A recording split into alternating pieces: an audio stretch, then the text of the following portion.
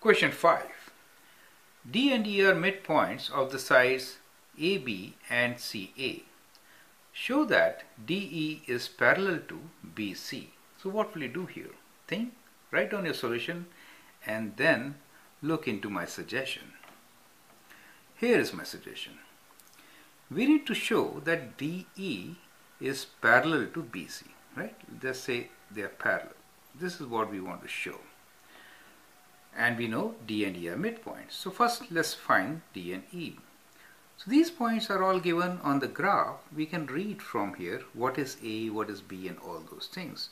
So A is 6 minus 1. Let me write it here. A is 6 minus 1, okay.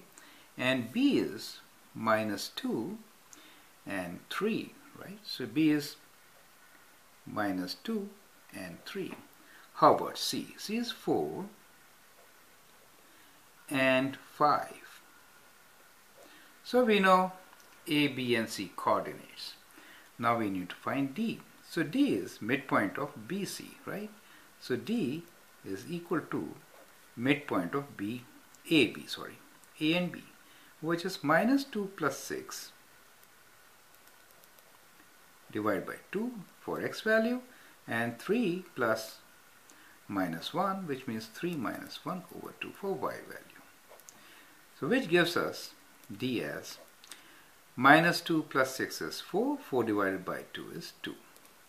3 minus 1 is 2, 2 divided by 2 is 1. So d is 2, 1. You could read also from here. No need to do this. 2 and 1, right? Let's read E from here. E is 5 and 2. We can write this as 5 and 2. Let's test it also, right? Anyway, let's test it.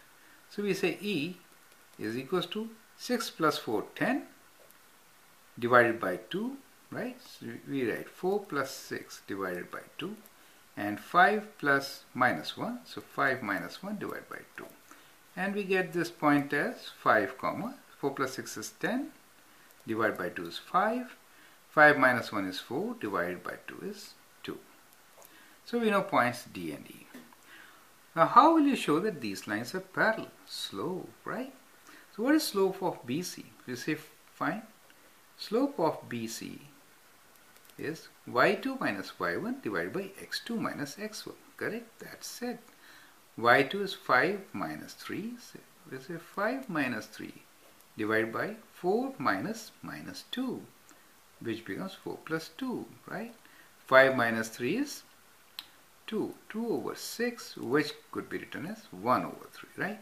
Similarly, let's find slope of DE.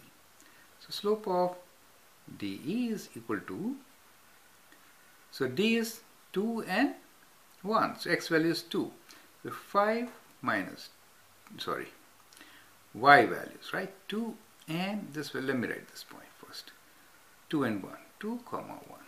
So 2 minus 1 y2 minus y1 which is 2 minus 1 divided by 5 minus 2. 2 minus 1 is 1 and 5 minus 2 is 3. So you see the slope is same, right? Since slope of BC is equal to slope of DE, right? The lines are parallel. We have parallel lines. That's a symbol for parallel lines, right? We say that the line DE is parallel to BC. I should write like this. Line DE is parallel to line BC. Correct? That's how it is. Thank you.